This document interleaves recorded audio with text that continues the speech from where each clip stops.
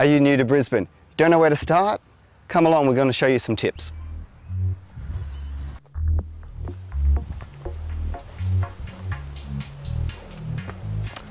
The plant this week is the blue ginger. It's from Brazil, glorious green foliage, nice stems, but most importantly, this stunning flower.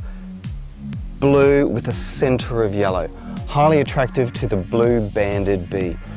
It's from a group related to wandering Jew, and like Heliconias and Costus, the blue ginger loves dappled light. It's ideal for our climate. In dry periods, it can die down. In cold periods, it can also die down. But generally, it's evergreen here in the subtropics. It's one of the great reliable plants that we can source. It's easy to grow, well organic, composted soils, fertilise it once or twice through a year. If it's too high, prune it down. Easily obtained from any garden centre.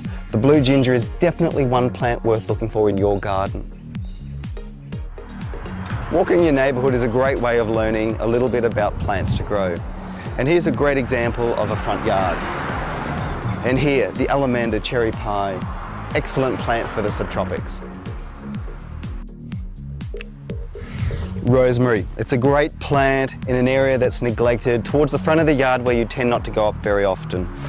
Quite often in these areas it's fairly dry, you don't want to water it very often and you've got to find a plant that's tough and resilient. Here's a really good one. It's called the seaside daisy. Petite little white flowers but many also have a pink blush to them. It's one of those simple to grow plants that doesn't need much care. It's one of these plants if you're after a cottagey garden effect or you're just after something that's a delicate that spills over a tumble rock wall, this is what you're after.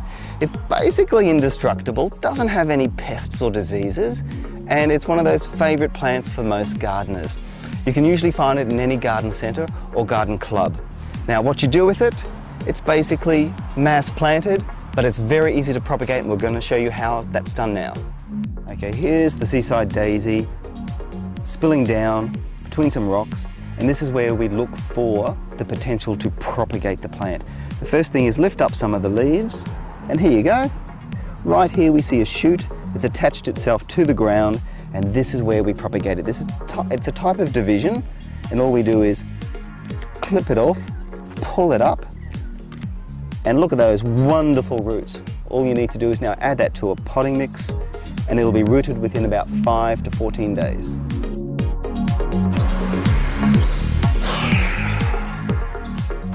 Scented plants in the garden are a great benefit to us gardeners. They can give you more than just fragrance. They can give you the benefits of a medicinal pantry in your own backyard. This particular beauty is lemon verbena. It's a great tonic plant if you've got a sore throat. It's basically a plant from a drier climate, so it needs excellent drainage, full sun to dappled light, but that drainage is the critical thing. It doesn't like wet feet.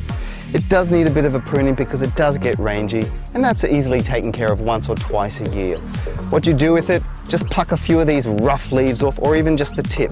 Add this to a cup of hot water and drink it. You can, if you want, add a teaspoon of honey. It's a great medicine at home. But the good thing here with gardening in the subtropics is there is so much variety we can use at home for medicinal properties. So go out, buy some plants, buy some herbs and enjoy them.